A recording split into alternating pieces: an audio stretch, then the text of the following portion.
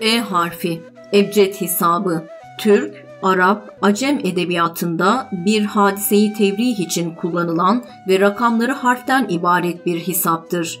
Buna hesabı cümel denildiği de vardır.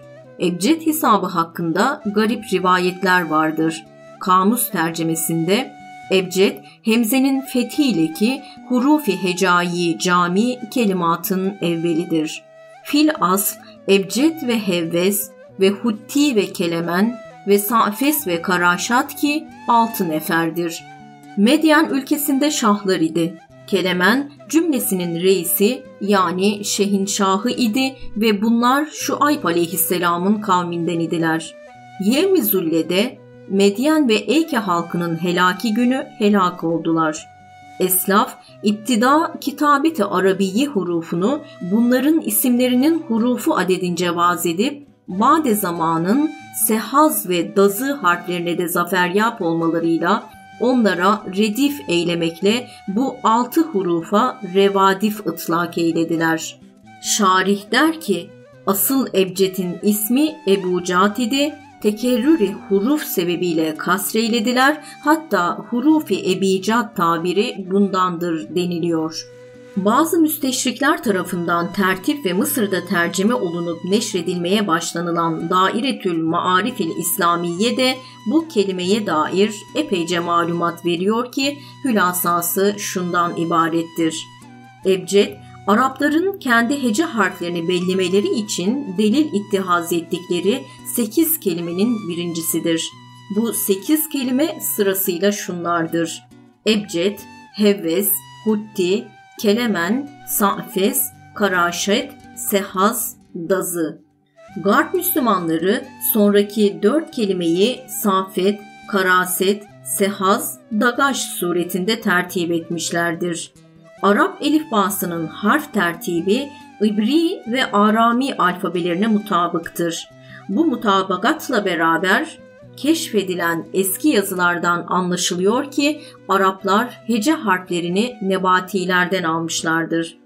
Arap harflerinin rakamlara delalet etmek üzere istimali İbri ve Aramilerde de cari idi ki hemzeden kafa kadar olan harfler birden yüze, son dokuz harfte iki yüzden bine kadar erkama delalet ediyordu. Arap ebcedinin İberi ve Arami alfabelerinden alındığına şüphe yoktur. Fakat Araplar diğer Sami lisanları bilmedikleri ve asabiyetleriyle iftihar ettikleri cihetle bu sekiz kelimenin menşei hakkında hurafi bir takım tevillere girişirler.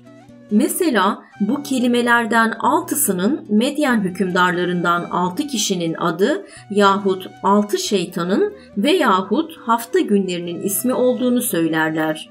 Bizzat Arap nahivcilerinden Müberret ve Sirafi gibi anlayışlı alimler bu tefsir ve tevillerin hurafi olduğunu, ebcedi teşkil eden kelimelerin aslında ecnebi bulunduğunu söylemişlerdir. Sonraları bu kelimeler muska, vefk gibi şeylerde kullanılmış ve her birine adedi bir kıymet verilmiştir. Nitekim orta asırlarda bazı mutasavvıf Yahudilerin ahdi kadim tefsirinde bu harfleri bu suretle kullandıkları görülüyor.